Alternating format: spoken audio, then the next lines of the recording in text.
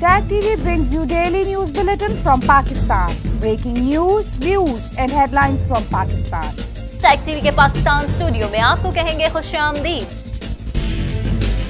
ایک چائنا سے ابھی تک کرونا کیس پاکستان میں نہیں آیا کسی جرنیل سے سوال پوچھو تو قومی سلامتی کے اوپر حملہ اب میں نے ان کے پیچھے جانا اپنا نا لائکی کو چھپانا اپنا معاشی دہشت گردی کو چھپانا۔ امہ کے محافظوں نے بہت سی انویسٹمنٹ کر رکھی ہے وہاں۔ Do not live in fool's paradise Bushra Khan Sara کوکب فاروق۔ السلام علیکم ناظرین۔ ٹیک ٹی وی کے پاکستان اسٹوڈیو میں آپ کو کہیں گے خوش آمدید۔ میں ہوں وقار حسین۔ نظر ڈالتے ہیں نیوز ہیڈ لائنز پر۔ پاکستان میں کرونا سے مزید تین اموات، ہلاکتیں چورانوے اور متاثرہ مریضوں کی تعداد پانچ ہزار چار سو پندرہ ہو گئی۔ ملک بھر میں مزید ایک سو تراسی کیسز سامنے آ گئے۔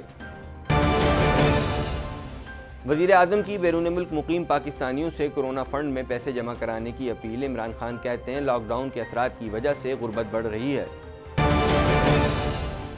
سپریم کورٹ نے حکومت کو ڈاکٹر ظفر مرزا کو عہدے سے ہٹانے کا کہہ دیا چیف جسٹس نے ریمارکس دیے ہیں کہ معذرت کے ساتھ، لیکن وزیر اعظم نے خود کو الگ تھلگ کر رکھا ہے۔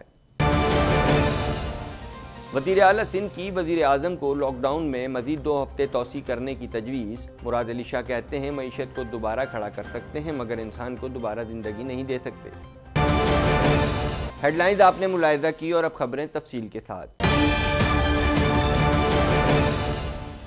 بولٹن میں بات کریں گے، سب سے پہلے پاکستان میں کرونا وائرس سے مزید تین افراد جاں بحق ہو گئے، جس کے بعد ہلاکتوں کی مجموعی تعداد چورانوے ہو گئی، جبکہ نئے کیسز سامنے آنے کے بعد متاثرہ مریضوں کی تعداد پانچ ہزار چار سو پندرہ تک پہنچ گئی ہے۔ اس حوالے سے مزید جانتے ہیں۔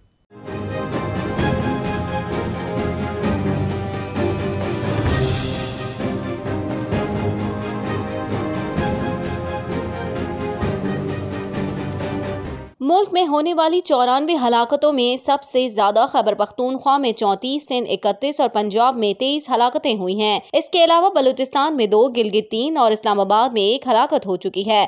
ملک میں اب تک کرونا کے مزید ایک سو تراسی کیسز سامنے آئے ہیں۔ سندھ اکتالیس کیسز، ایک ہلاکت، جبکہ اسلام آباد میں بارہ کیسز رپورٹ ہوئے ہیں، جس کے بعد صوبے میں کیسز کی مجموعی تعداد ایک ہزار چار سو باون اور ہلاکتیں اکتیس ہو گئی ہیں۔ وفاقی دارالحکومت میں اب تک کرونا کے مزید بارہ کیسز سامنے آئے ہیں جو سرکاری پورٹل پر رپورٹ ہوئے ہیں۔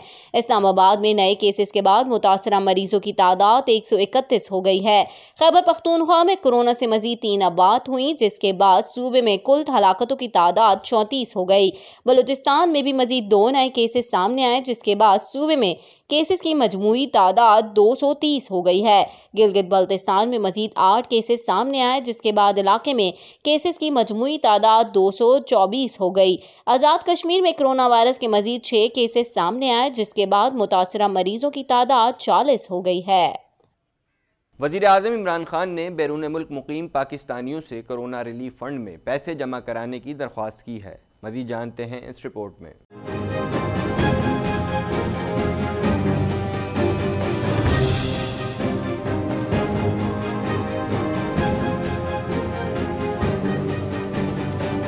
وزیر اعظم عمران خان نے بیرون ملک پاکستانیوں کے نام ویڈیو پیغام جاری کیا ہے، جس میں انہوں نے بیرون ملک پاکستانیوں سے کرونا ریلیف فنڈ میں پیسے جمع کرانے کی درخواست کرتے ہوئے کہا کہ بیرون ملک مقیم پاکستانیوں سے خاص اپیل کرنا چاہتا ہوں۔ دنیا بھر کی طرح پاکستان بھی کرونا کے اثرات سے متاثر ہو رہا ہے۔ لاک ڈاؤن کے اثرات کی وجہ سے غربت بڑھ رہی ہے۔ چاہتا ہوں کہ overseas Pakistani prime minister corona relief fund میں پیسے جمع کرائیں۔ اس وقت جو جو پاکستان کے اوپر یہ کرونا کا اتنا بڑا عذاب آیا ہوا ہے، جو ساری دنیا میں آیا ہوا ہے، اور کرونا کی وجہ سے جو لاک ڈاؤن ہم ہم سب کو، ساری دنیا میں جو لاک ڈاؤن ہوا ہے، اس کے جو اثرات ہیں، اس سے بدقسمتی سے دنیا میں بھی، لیکن ہمارے ملک میں جدھر پہلے ہی حالات اچھے نہیں تھے، غربت بڑھ رہی ہے۔ تو میں آپ سب کے سب کو یہ جو چاہتا ہوں کہ میرے جو پرائم منسٹر ریلیف فنڈ ہے، اس میں پیسے ڈالیں۔ وزیر اعظم نے کہا، تیس کروڑ آبادی والے ملک امریکہ نے دو ہزار دو سو ارب ڈالر کا ریلیف پیکج دیا۔ ہماری بائیس کروڑ آبادی ہے، ہم صرف آٹھ ارب ڈالر کا پیکج دے سکے۔ جرمنی اور جاپان نے ایک ایک ہزار ارب ڈالر کے ریلیف پیکجز دیے۔ پاکستان کو آپ کی ضرورت ہے۔ سارے اوورسیز پاکستانی حصہ ڈالیں۔ وزیر اعظم نے کہا ٹائیگر فورس اور بیرون ملک پاکستانیوں کے احتیاط سے کورونا کے خلاف جہاد میں کامیاب ہوں گے۔ امریکہ جس کی تیس کروڑ آبادی ہے، اس نے دو ہزار دو سو ارب ڈالر کا ریلیف اپنے لوگوں کو دیا ہے، تیس کروڑ آبادی پہ۔ پاکستان جس کی بائیس کروڑ آبادی ہے، ہم نے جو ٹوٹل ابھی تک پیسہ جمع کیا ہے ریلیف کے لیے، وہ ہے آٹھ ارب ڈالر۔ جرمنی اور جاپان نے ایک ایک ہزار ڈالر کا ریلیف دیا اپنے لوگوں کو۔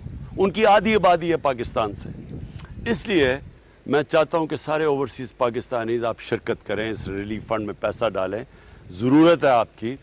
اور انشاءاللہ ہم اپنی یوتھ سے، اپنی ٹائیگر فورس سے، اپنے اوورسیز پاکستانیز کی ڈونیشن سے، انشاءاللہ ہم اس کرونا کی جہاد میں کامیاب ہوں گے۔ اس کے جو اثرات ہیں، اس سے کرونا وائرس اسخود نوٹس کیس کی سماعت کے دوران سپریم کورٹ نے حکومت کو ڈاکٹر ظفر مرزا کو عہدے سے ہٹانے کا کہہ دیا۔ اس حوالے سے مزید جانتے ہیں۔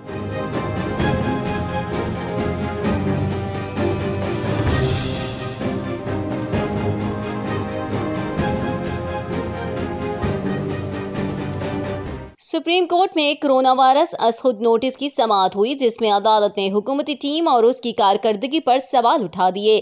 چیف جسٹس گلزار احمد نے ریمارکس دیے کہ سمجھ نہیں آ رہی کس قسم کی ٹیم کرونا پر کام کر رہی ہے۔ اعلی حکومتی عہدیداران پر سنجیدہ الزامات ہیں۔ ظفر مرزا کس حد تک شفاف ہے کچھ نہیں کہہ سکتے، جبکہ معاون خصوصی کی پوری فوج ہے، جن کے پاس وزراء کے اختیارات ہیں اور کئی کابینہ ارکان پر جرائم میں ملوث ہونے کے مبینہ الزامات ہیں۔ اٹارنی جنرل نے کہا کہا کہ عدالت کی آبزرویشن سے نقصان ہوگا، جس پر چیف جسٹس نے کہا کہ ریمارکس دینے میں بہت احتیاط برت رہے ہیں۔ عدالت کو حکومتی ٹیم نے صرف عداد و شمار بتائے اٹارنی جنرل نے کہا کہ کوئی ملک کرونا سے لڑنے کے لیے پیش کی تیار نہیں تھا۔ چیف جسٹس نے استفسار کیا کہ قانون سازی کے حوالے سے حکومت کا کیا ارادہ ہے۔ کیا ایمرجنسی سے نمٹنے کے لیے پارلیمان قانون سازی کرے گا؟ کئی ممالک ایمرجنسی سے نمٹنے کے لیے قانون سازی کر چکے ہیں۔ چیف جسٹس نے ریمارکس میں کہا کہ ریاستی مشینری کو اجلاسوں کے علاوہ بھی کام کرنا ہوتے ہیں۔ وزیر اعظم کی کابینہ غیر مؤثر ہو چکی ہے معذرت کے ساتھ، لیکن وزیر اعظم نے خود کو الگ تھلگ رکھا ہوا ہے۔ کیا پارلیمنٹیرینز پارلیمنٹ میں بیٹھنے سے گھبرا رہے ہیں؟ وفاقی اور صوبائی حکومتیں اپنے اپنے راستے اختیار کیے ہوئے ہیں۔ وزیر اعلیٰ سندھ سید مراد علی شاہ نے وزیر اعظم عمران خان کو لاک ڈاؤن میں مزید دو ہفتے توسیع کرنے کی تجویز دیتے ہوئے کہا ہے کہ معیشت کو دوبارہ کھڑا کر سکتے ہیں۔ مگر انسان کو دوبارہ زندگی نہیں دے سکتے۔ وزیر اعظم لاک ڈاؤن توسیع پر قومی اتفاق رائے سے آگے بڑھ کر اعلان کریں۔ مزید جانتے ہیں اس رپورٹ میں۔ وزیر اعلیٰ سندھ مراد علی شاہ نے کراچی میں پریس کانفرنس کرتے ہوئے کہا، کرونا وائرس صرف پاکستان کا نہیں، پوری دنیا کا مسئلہ ہے۔ اس سے بچنے کے لیے پہلے دن سے سماجی فاصلے رکھنے پر زور دیا جا رہا ہے۔ سندھ حکومت پر بلا سوچے سمجھے لاک ڈاؤن کا الزام غلط ہے۔ ہم نے خوب سوچ سمجھ کر یہ فیصلہ کیا۔ کورونا سے بچنے کے طریقہ کار یہ ہیں، ایکشن کرو اور وائرس سے آگے آگے رہو۔ مراد علی شاہ نے کہا کہ اس بیماری سے متعلق کوئی بھی غلطی کرے گا تو اس سے پوری دنیا متاثر ہوگی۔ غلطیاں ہوتی رہتی ہیں لیکن کچھ نہ کرنے کی غلطی نہیں ہونی چاہیے۔ اس بیماری سے نجات کے لیے اللہ تعالیٰ سے دعا کریں۔ علماء نے ہمارے ساتھ بہت تعاون کیا ہے۔ سب سے پہلے تو میں بہت کلیئرلی کہہ دوں کہ یہ کوئی میرا مسئلہ، آپ کا مسئلہ، سندھ کا مسئلہ، ایون پاکستان کا مسئلہ نہیں ہے۔ یہ ایک بین الاقوامی وبا ہے۔ اس میں دنیا کے کسی کونے پہ اگر کوئی غلطی کرے گا، اس کا افیکٹ میرے تک کسی نہ کسی طریقے سے پہنچے گا۔ چاہے وہ وبا کی صورت میں ہو، چاہے اس سے جو اور پرابلمس کریٹ ہو رہی ہیں، اس کی صورت میں ہو۔ تو ہم اکیلے بیٹھ کے اپنے فیصلے نہیں کر سکتے۔ میں اپنا فیصلہ کروں گا اور آپ اس فیصلے پہ عمل نہیں کریں گے تو نقصان میرا بھی ہوگا۔ میں ایک اپنے گھر کے اندر رہ کے اپنے آپ کو سیف سمجھ لوں یہ نہیں ہوگا۔ مزید خبریں بھی بولیٹن کا حصہ ہوں گی مگر اس بریک کے بعد۔ Subscribe Tech T V YouTube channel and press the notification button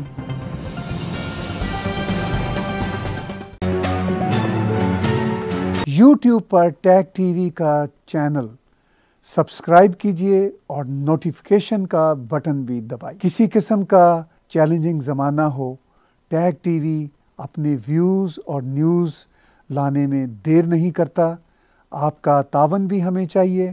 tag T V کو اگر آپ سپانسرز کر سکیں، آپ اشتہار دے سکیں، تب بھی ہم آپ کے بہت شکر گزار ہوں گے۔